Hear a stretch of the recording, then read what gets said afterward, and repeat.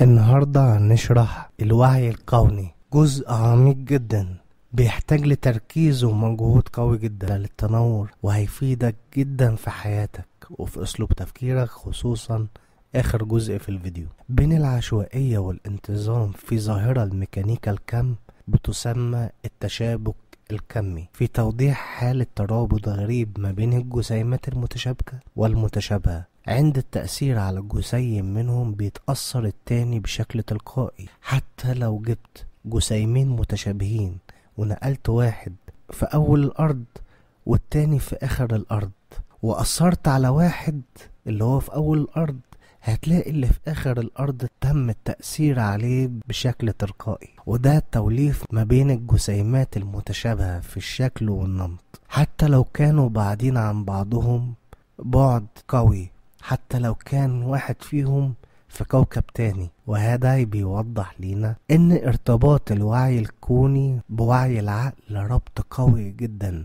وإن العقل أكبر من إنه يكون بداخل كهف الدماغ. والدليل على ده إنك عند النوم بتستقبل أحلام ليها علاقة بمستقبلك.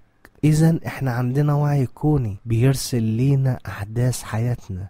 وبيعطي إجابات لكل شيء بيشغل بالنا. والوعي ده بنعرفه شرط اكتشاف مراحل الوعي المؤثرة على شخصيتنا حتى الارتقاء إلى التنور اللي بيجعلنا في حالة ترابط ما بين الوعي الذهني والوعي الكوني. وبنعرف إن كتير من الناس ما عندهمش أي فكرة عن الوعي الكوني والوعي الكوني اللي إحنا بنقصده هو الوعي اللي متصل بالقرين أو الجسم المقترن. اللي عرفناه من بداية الحضارة الفرعونية في فلسفة البا والكا وتقديس الكا واكتشاف أسرارها وإن الوعي الكوني هو الوعي اللي بيستمر بعد موت الإنسان وده شرحناه في مقال الإنسان والطاقة وسر الرجوع وسر الموت. إن الإنسان من خلال أعماله وأفكاره ومعتقداته إما يكون حالته الأثرية أو الطاقة المؤثرة على جسمه المقترن ووعيه إما طاقة سلبية فينجذب للعالم السفلي أو تكون متوازنة فما يشعرش الإنسان بالوقت وينام حتى يوم البعث ويتحولوا لنقاط معمرة وانتظام طاقة في المكان وبيقولوا عليها عند العرب عمار المكان أو يكونوا في مرحلة سلام في حياتهم فينجذبوا إلى العالم النوراني. والوعي الكوني هو الوعي الروحي ممكن من خلاله تستمر في حياتك حتى بعد موتك. بقول الله عز وجل في آل عمران في الآية رقم 169 والآية 170 بيوضح الله عز وجل إن الإنسان اللي وهب روحه ونفسه وجسده وعقله إلى الله مش هيموت بل هيحيا بوعي كوني وجسد مقترن يتوالف مع العالم النوراني ويشعرون بالمشاعر الإيجابية زي الفرح من أنعام الله عليهم ويبشروا كل شخص متصل بالإله ويأكدوا ليه إنه عمره ما يخاف وعمره ما يحزن وإن الوعي الكوني هو اللي بيعرفك كل التفاصيل الكون وعي الأولياء والأنبياء والرسل واللي بيعرف قيمة الوعي الكوني يصل إلى الحكمة ويؤمن بوجود الإله إلى عالم الملائكة والأرواح ورؤية النظام الكوني الخفي اللي بيسير في انتظام ويعبد ويشكر الله في كشف أسراره. وهنا نسأل نفسنا إزاي نصل إلى الوعي الكوني. لو رجعنا تاني الميكانيكا الكم هنلاقي نظرية تسمى تأثير المراقب. ومن عدم مراقبة الجسيمات بتعطي نتائج عشوائية أو غير منتظمة زي النتائج اللي أنت بتشوفها لما بتراقب الجسيمات. وهنا بدأوا يفهموا إن الكون كله مرتبط بوعي الإنسان وإن الإنسان ليه دور كبير جدا في انتظام الكون واستمرار الحياة من مراقبته للجماد والأشجار والحيوانات اللي أثرت على نتيجتهم. علشان تحصل على نتائج منتظمة تجعلك تكتشف الوعي الكوني يجب عليك مراقبة نفسك وأفعالك وسلوكياتك واكتشاف كيفية تطوير مهاراتك. وتصحيح المعتقدات الخاصة بك وكلما اكتشفت قدرات الوعي العقلي بتكتشف مهاراتك ومهارات الوعي الكوني البعيدة عنك. وكلما طورت الوعي العقلي اتأثر الوعي الكوني بالتطوير زي ما شرحت في بداية الفيديو بنظرية التشابك الكمي. والآن كيفية الارتقاء بالوعي الكوني وتنظيم وعي الإنسان العقلي وتطويره وإيه هي علاقة الوعي الكوني بالشيطان؟ لازم عليك ملاحظة المشاعر الناتجة من معتقداتك وأفكارك وتقييم وعيك وعلشان كده هنعرض عليك مراحل الوعي من أدنى مرحلة اللي بتوصل الإنسان للعالم السفلي إلى أفضل مرحلة اللي بتوصل للإنسان للتنور والعالم النوراني. أدنى مرحلة هي مرحلة الشعور بالعار. العار هو المستوى الأدنى والأكثر خطورة على الإنسان اللي ممكن يكتسبه من ممارسة العادة السرية أو من بعض الممارسات التانية. فلا يمكن لصاحب الشعور بالعار احتماله أو الخطو به إلى الأمام فإن العار بيشكل اضطراب عصبيا وهو بيدمر الصحة النفسية وبيدمر وعي الإنسان الكوني. وعند الشعور بالعار بيكون أداة قاسية جدا على الإنسان. لوصوله لأدنى مرحلة للوعي ووصوله إلى العالم السفلي. وممكن إنه يولد الشعور بالعار من تأثير الإنسان في عبادة الرحمن. حتى نقدر نتخلص من الشعور بالعار يلزم علينا الرجوع لله. الشعور بالذنب مرتبط بالشعور بالخطيئة. علشان كده الموقف العاطفي والناتج عن العقاب ما بتنساهوش وما تنساش إن الشعور بالعار أو الشعور بالذنب من المشاعر السلبية اللي بتجعل الشيطان متصل بيك. الشعور بتلبد المشاعر. شعور بيوصل لأدنى المستويات. بيكون ناتج عن الفقر وعدم الرضا والنكر. بتلاقي الناس بيعذبوا أنفسهم بنفسهم. زي ما قال ربنا سبحانه وتعالى في سورة إبراهيم في الآية اللي ظاهرة قدامكم وإذ تأذن ربكم لئن شكرتم لأزيدنكم ولئن كفرتم إن عذابي لشديد.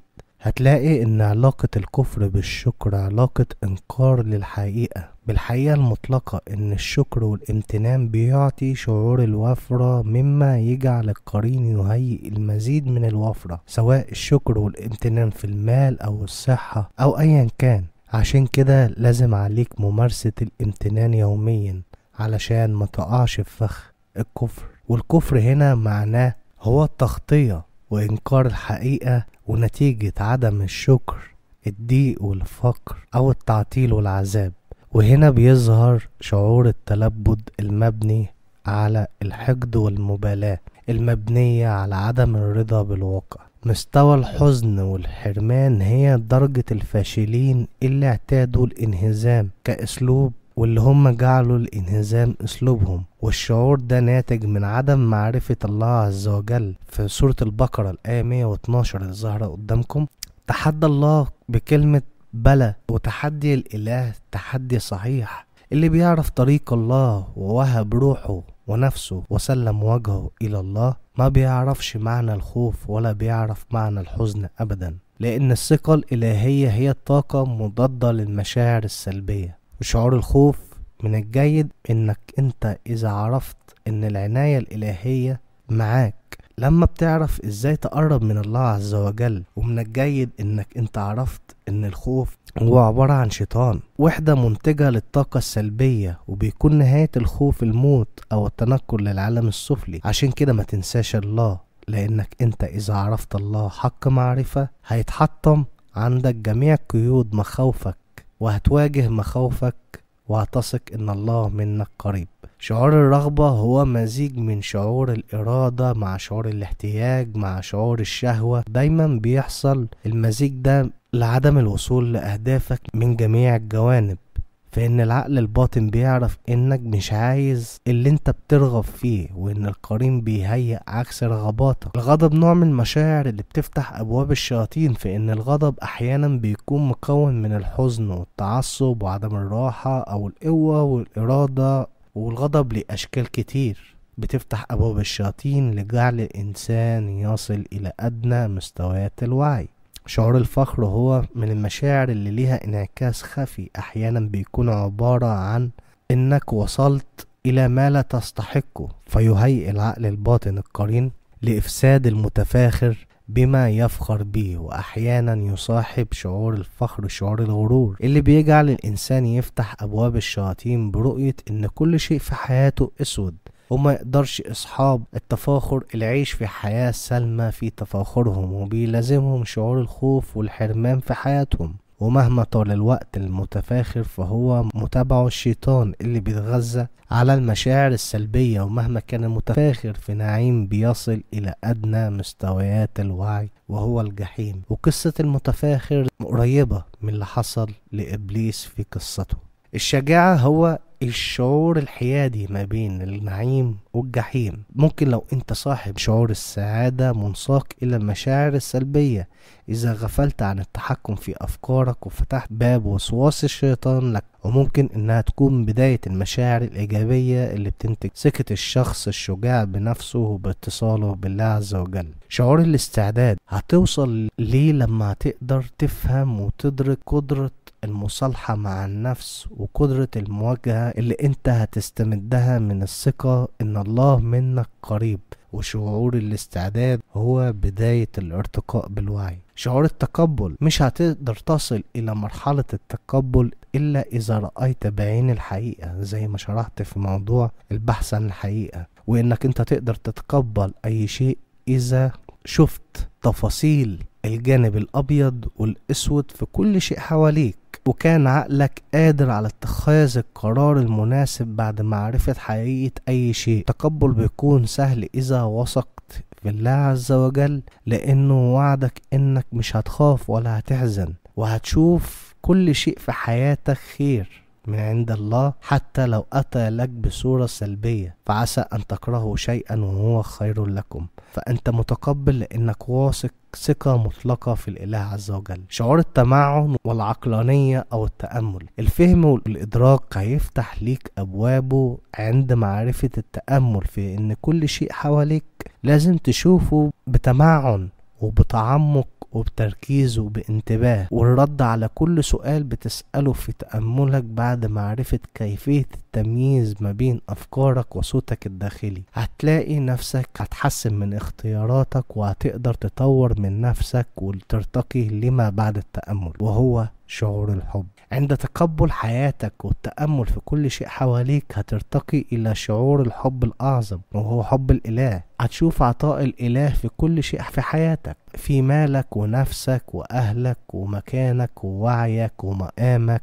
وهتشوف كرم الإله اللي بيجعلك عاشق ذكر الله ممتن ليه بتحبه لأنك اكتشفت كرمه وعطائه. شعور الفرح هو باب شفاء سواء للنفس أو الروح أو الجسد. ومش هتعرف معنى الفرح بعيد عن الإله واتصالك بيه. لأن الفرحة اللي أنت هتلمسها من الشعور بوجود الله هي فرحة ناتجة عن قدرتك في تحقيق كل اللي أنت بتتمناه واللي بيحصل في حياتك.